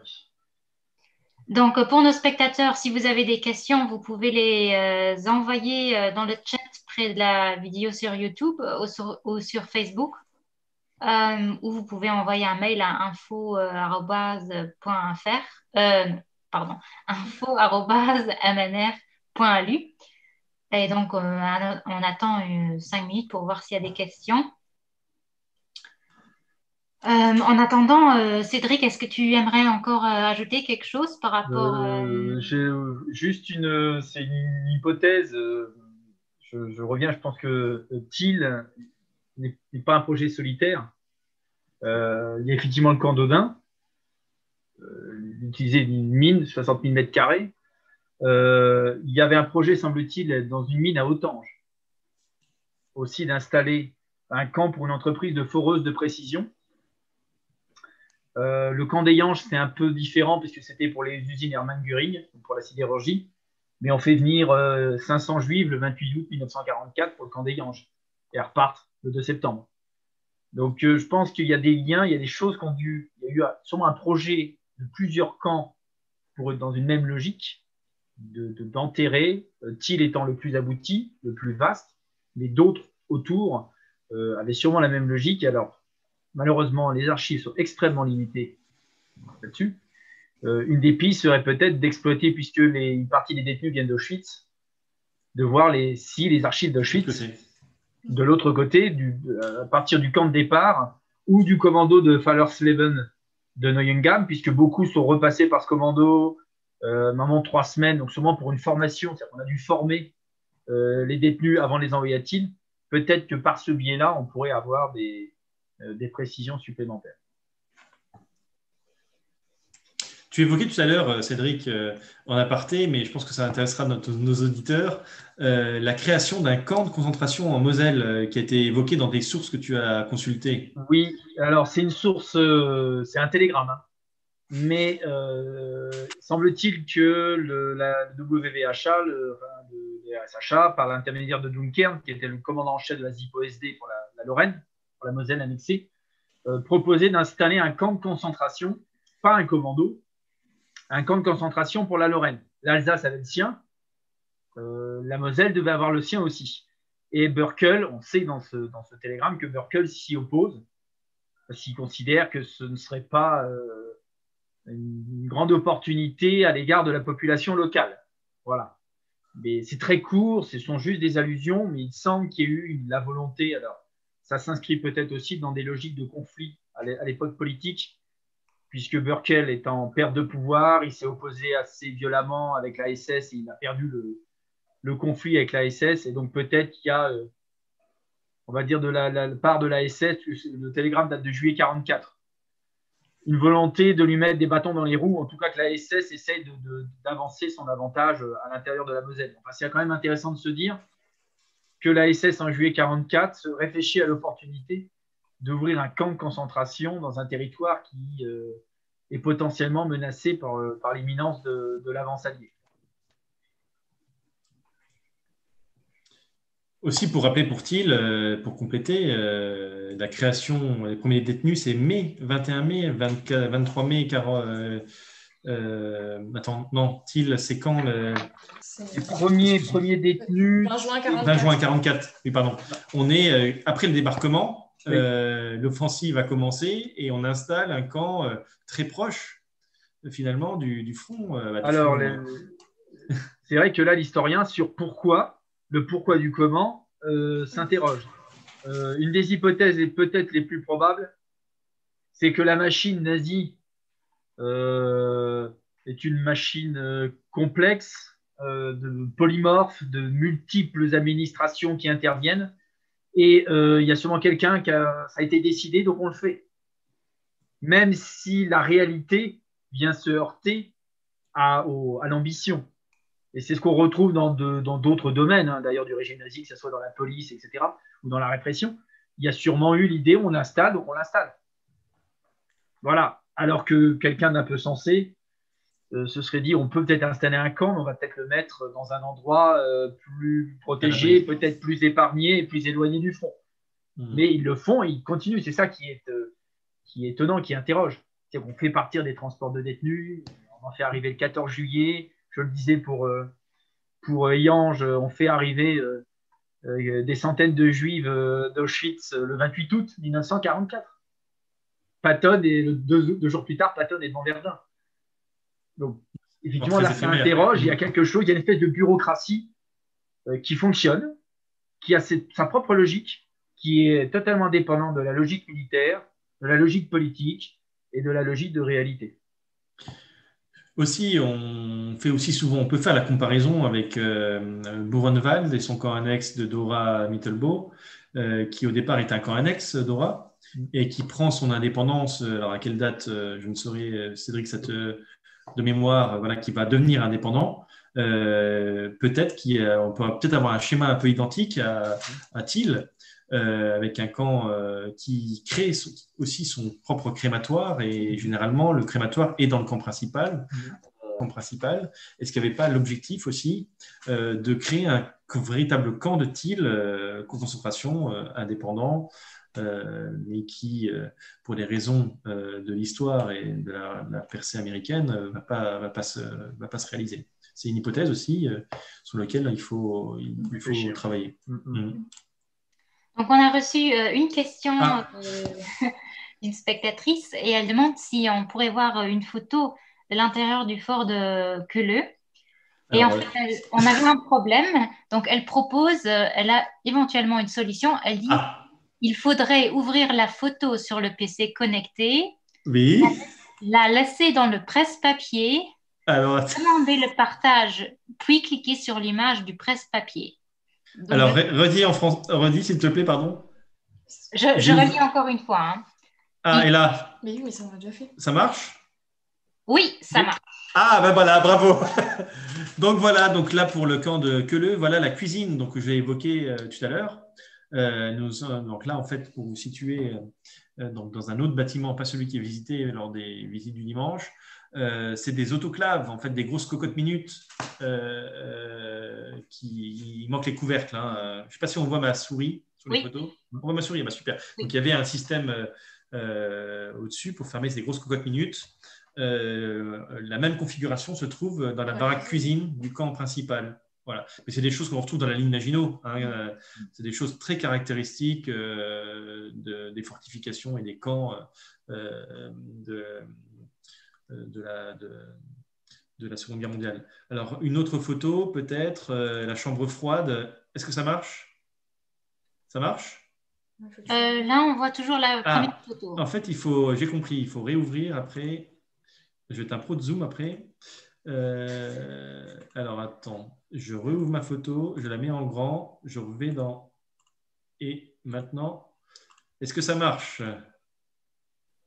Oui. Voilà, ça c'est la chambre froide euh, qui trouve des, on trouve les mêmes, qui où étaient des, vraisemblablement la nourriture des déportés.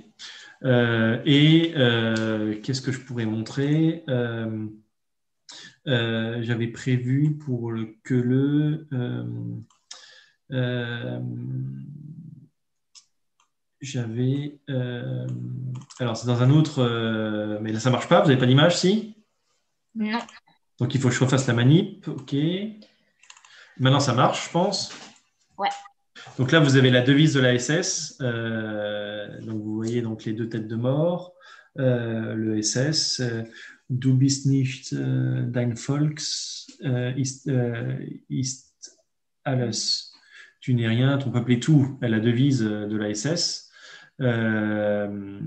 qui est dans un bâtiment aussi du, fort de queue, qui pourrait être lié éventuellement euh, euh, au camp annexe de Natzweiler, mais il faut faire attention parce qu'on a eu des, en, pendant la bataille de Metz de l'hiver 1944, des troupes SS qui étaient présentes dans le fort.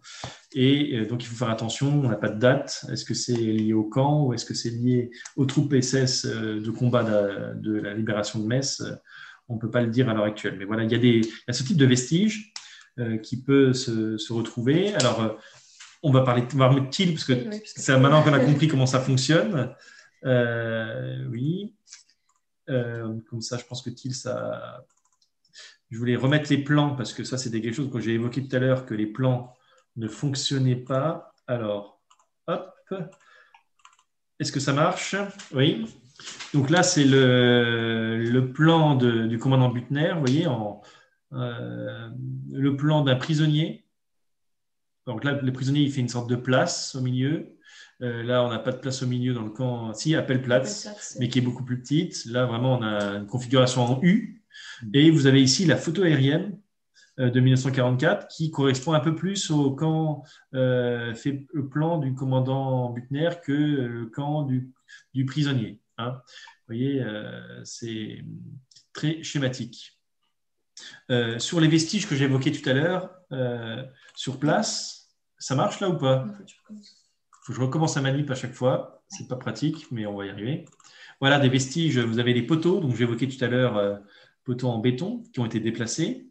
Euh, et puis donc les fondations d'une baraque administrative euh, qui se trouve dans un champ, avec un abreuvoir actuellement. vous voyez au loin ici l'emplacement de la crypte avec le chemin mémoriel. Alors, Justement, il y a aussi un spectateur qui demande qu'est-ce qui est devenu la plaque euh, à Thiel qui, racontait euh, qu'une certaine nuit de beuverie, des gardiens auraient brûlé vif euh, dans le crématoire quelques malades Je ne connais pas cette plaque, donc je ne saurais dire ce qu'il en est.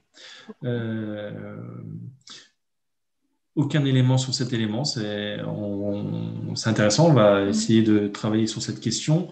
Je voulais vous montrer la géophysique. Tout à l'heure, j'ai évoqué euh, la, géophysique. Je vais vous montrer un résultat qui a été fait euh, à Mauthausen. Alors, je reviens sur le... Hop, partager. Non, que je ferme. Partager. Voilà. Là, vous voyez, euh, on a... Voilà les résultats. Vous voyez les baraques qui apparaissent grâce aux, aux appareils géomagnétiques qui ont pu relever les traces les emplacements des baraques. Vous voyez, c'est le camp hôpital, c'est la partie hôpital du camp de Mauthausen. Et vous voyez donc les baraques, les fondations qui sont visibles euh, dans le sol. On voit même ici les pièces dans ce bâtiment ici. On arrive même à voir, à lire euh, les, différentes pièces euh, à l'intérieur du bâtiment. Donc ça, on espère. Alors tout ça, ça va dépendre de plein de paramètres, les paramètres géologiques euh, suivant la configuration du terrain. Et les résultats ne sont pas toujours aussi lisibles que celui que vous avez sous les, sous yeux. Donc on espère qu'à Thiel, on arrivera à quelque chose euh, dans un milieu calcaire. Je voulais aussi vous évoquer la, la, mine. Alors la mine avec quelques photos. Celle-là Voilà. donc je l'ai ouvert. Hop. Hop, on y arrive. Donc là, c'est l'entrée de la mine euh, du, du tiercelet. Et vous avez donc des réaménagements pour un palan euh, qui ont été installés pendant la guerre pour décharger du matériel. Euh, donc il y avait des, des, des voies de de fer, une voie étroite qui passait à l'intérieur de la mine et on pouvait décharger et charger du, matériel. Il y a eu un coffrage en béton aussi qui a été réalisé pendant la guerre. Donc ça, c'est des questions euh, archéologiques qui vont se poser. Est-ce que c'est lié à l'usine souterraine? Est-ce que c'est lié à l'exploitation euh, du minerai par les prisonniers, euh, entre autres Osterweiter hein? Je sais que la commune a, travaillé, tout à l'heure Cédric évoquait le groupe Robina. Robina, oui, c'est ça Rodina ou Robina Rodina. Rodina, merci. Euh, il y a eu un documentaire qui a été réalisé par la commune euh, récemment sur, euh, sur ce groupe et sur ces, ces travailleuses de l'Est qui travaillent dans la mine. il y a eu un accident. Alors là, ok, je vais vous montrer un, un emplacement. Alors là, on n'est plus sur la question camp de concentration annexe, mais travail des Ostarbeiter. alors, vous voyez, vous avez l'œil de l'archéologue avec un mur en béton voyez, il y a le coffrage ici qui est en cours de construction. Hein, il coulait ensuite le béton. On voit les lits de, béton. Donc, il y avait des planches ici qui étaient horizontales. On voit les coulées de béton.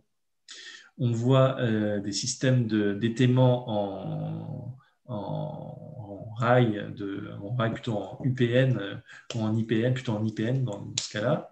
Et euh, il y a eu un effondrement lors des travaux. Et ici, il y a un tas de gravats qui s'est effondré sur des, des, des qui travaillaient, qui ont été ensevelis, euh, qui sont toujours présents euh, sous les gravats. Donc là, avec euh, archéologue, on arrive à voir des éléments sur la construction, comment, l'accident s'est produit. toutes ces questions-là, on va se les poser lors des, prospections à venir j'avais peut-être une image d'objets qui étaient trouvés euh, euh, dans la mine. Là, voilà, je vais vous montrer ça. Hop, écran partagé. Voilà, alors là, c'est des objets. Euh, à, qui sont-ils, à quel type de catégorie de prisonniers sont-ils liés? Vous avez des, séries de gamelles assez simples qui ont été. c'est pressé, hein, c'est la simple tôle de métal qui a été pressée. et qui sont retrouvés à nombreux, à nombreux endroits dans la mine. Est-ce que c'était lié aux travailleurs, euh, aux starvateurs, aux déportés euh, euh, On va un peu travailler sur, sur, ces questions. Vous avez aussi une cuisinière qui a été apportée dans, la mine. Voilà. Plein de questions archéologiques qui vont être développées ces prochaines années. Je rappelle en partenariat avec la commune, les associations locales. on va aussi associer les, habitants, comme l'a dit euh, on l'a évoqué aussi tout à l'heure sur des témoignages, euh, peut-être des gens qui ont des documents, qui peuvent avoir des photos de visites qu'ils ont fait après la guerre sur le site, peut-être voir des, vestiges. Euh, aussi partenariat avec le ministère de la Culture qui, qui, cofinancera peut-être le projet et d'autres collectivités aussi qui pourraient aussi participer financièrement à, ce programme. Est-ce qu'il y a eu d'autres questions depuis Non. Je pense que c'est bon. Euh, voilà, donc si euh, vous voulez encore euh, rajouter une dernière remarque ou une conclusion, ou encore montrer une image, ou sinon on va doucement clôturer. Sur la crypte, bah, on peut vous montrer le faux crématoire parce qu'on en a parlé, Cédric en a parlé. on va vous le partager. Voilà, vous avez la crypte euh, ici une carte postale quand ils ont créé la crypte, qui avait une configuration différente d'ailleurs. Visiblement, il y avait un escalier. Je crois qu'il y avait, j'ai une photo où il y avait cet escalier au départ sur cette pente. Et, dans cette crypte se trouve ce four crématoire. Et petit détail euh, intéressant, c'est cette plaque qui euh, a été rajoutée après la guerre par l'entreprise française. C'est un four crématoire français pour animaux euh, qui euh, s'est dégagé de ses responsabilités sur l'utilisation pendant la Seconde Guerre mondiale euh, de son appareil. Voilà, et qui a jugé utile de bien expliquer qu'ils ne sont pas liés à. Ce n'est pas une commande qui a été faite par les nazis à ce producteur pendant la guerre. Il y a un très gros, beau travail qui a été réalisé. si vous êtes intéressé, il y a une publication sur les fours crémateurs d'Auschwitz qui est passionnante par un chercheur du CNRS, si je ne m'abuse, euh, dont j'ai oublié le nom, excusez-moi, euh, qui a travaillé sur les entreprises qui ont fourni euh, les fours crématoires, sur les, questions financières, de marché, de questions de marché qui ont été faites pour approvisionner les camps de concentration. Là, on est dans autre chose, on est dans une réquisition et de la réutilisation de quelque chose qui existait. Et cette petite plaque le rappelle. J'ai pas mis malheureusement, je vous ai parlé tout à l'heure qu'il y avait des, des fixations métalliques qui étaient présentes. Ah, peut-être montrer cette photo quand même. Je pense qu'elle vous intéressera. Alors. Mais ces fixations métalliques, c'est les mêmes que celles du four crématoire au Struthof, en fait. Mm. C'est euh, celles qui sont juste à côté du bâtiment crématoire et euh, qui sont reliées à la cheminée par euh, des câbles. En fait, j'ai les photos d'après-guerre. Voilà, vous avez les photos de la configuration quand les habitants de Thiel viennent voir vous voyez donc ce, four crématoire avec dans une sorte de petit ravin. Euh, vous avez une cheminée en briques et une cheminée métallique qui se trouvait au-dessus, qui était maintenue par des câbles euh, qui sont plus présents après la guerre et ça a été enlevé. on a retrouvé l'emplacement sur, sur les, pentes de ce petit ravin, les, fixations des câblages. Et sur la photo qui est ici, vous voyez donc le drapeau français qui avait été installé la Libération, et le four crématoire se trouve maintenant ici. Il a été décalé de quelques dizaines de mètres pour être plus visible avec la crypte depuis la plaine malheureusement, on voit que quand bah, il est plus par là, c'est dommage parce qu'on aurait pu euh, éventuellement voir des vestiges euh, ici, mais le cadrage de la photo euh, n'est pas, assez, pas assez large.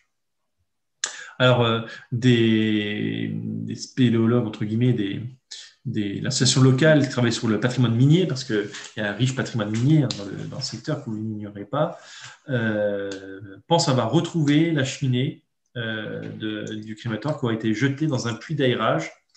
Donc régulièrement dans les mines, il y a des puits d'aérage pour euh, créer la, circulation d'air. Et euh, ils pensent avoir identifié, il y a quelques années, l'emplacement aurait été jeté dans un puits. Et ça va être aussi dans les questions de ces prochaines années d'essayer de retrouver les vestiges de ce, de ce conduit de cheminée.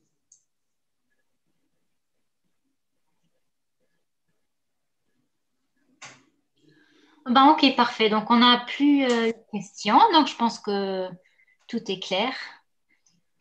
Et euh, donc, je propose de, de notre table ronde. Je vous remercie euh, d'avoir participé malgré les quelques problèmes techniques. je suis contente qu'on a pu quand même voir à la fin un peu des images parce que c'est quand même intéressant de pouvoir visualiser les lieux de, desquels on a parlé. On remercie l'auditrice qui nous a donné le conseil technique.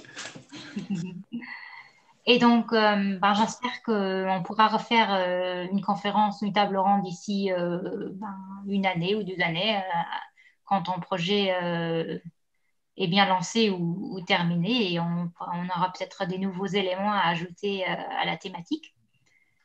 Donc, voilà.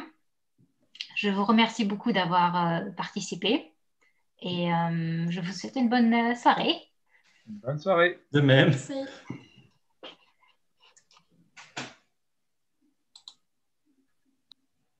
C'est comme quand il y a la météo là, ou le, journal télévisé. Maintenant, on n'est plus en direct. on peut parler ou non, C'est toujours en live. Je sais pas. On a perdu le musée. Il n'y a plus que toi, Cédric. Ben, bonne soirée alors. C'était la galère, dis donc. Euh, T'as galéré. Ah oui, on est encore sur Internet, en fait. Euh.